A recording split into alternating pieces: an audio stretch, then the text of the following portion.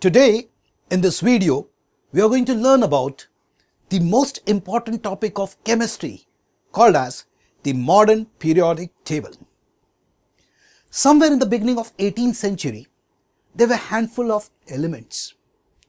And these elements were classified into two groups, metals and non-metals, depending upon their properties such as luster, ductility and malleability.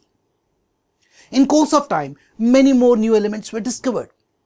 And there were some elements showing some properties of metals and some properties of non-metals. They were called as metalloids. Examples of metalloids are silicon, germanium, arsenic. As science progressed, more and more elements were discovered. But when more elements were discovered, scientists found that there were some dissimilarities among metals also and some dissimilarities among non-metals also. For example, sodium and copper both are metals. But sodium is a soft metal easily cut with a knife. While copper is harder, it cannot be easily cut with a knife. Sodium reacts much more vigorously with water, while copper does not react with water. Scientists couldn't understand why this difference was and therefore they felt the need of further classifying the elements on some other properties. The biggest question was how to classify these elements. And the question was answered in 1808 when John Dalton gave his atomic theory. According to atomic theory, atomic mass is the fundamental property of an element. Now what is atomic mass? Now we know atom is made up of subatomic particles such as protons, neutrons and electrons. And we also know the total mass of electrons is always negligible.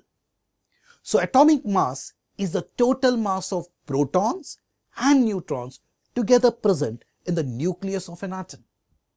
And this was considered as a fundamental property.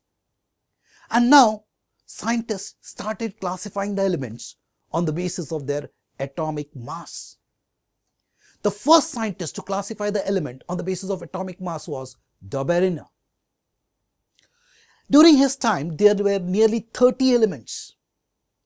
So he collected all the elements and tried to classify the elements on the basis of atomic mass. And he put forward a law called as Dobereiner's law of triads. But the fact was, he could not classify all the elements known as his time in this law of triads. And therefore, this law failed. Then came the next scientist, Newlands. He also thought that atomic mass is the fundamental property of an element and he also classified the elements on the basis of atomic mass. During his time, there were 56 elements. But once again, he could not classify all the elements on the basis of atomic mass in a stable called as Newland's octave. So that also failed. Then came the next scientist, Mendeleev. During his time, there were nearly 63 elements. So he also classified the elements on the basis of their atomic mass. But at the same time, he also considered their properties. And he could arrange most of the elements during his time.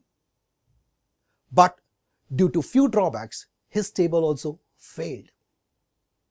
And then in 1913, another scientist called as Henry Moseley showed that atomic number is the more fundamental property of an element rather than its atomic mass. And he classified the elements on the basis of atomic number in a tabular form and this is called as the modern periodic table.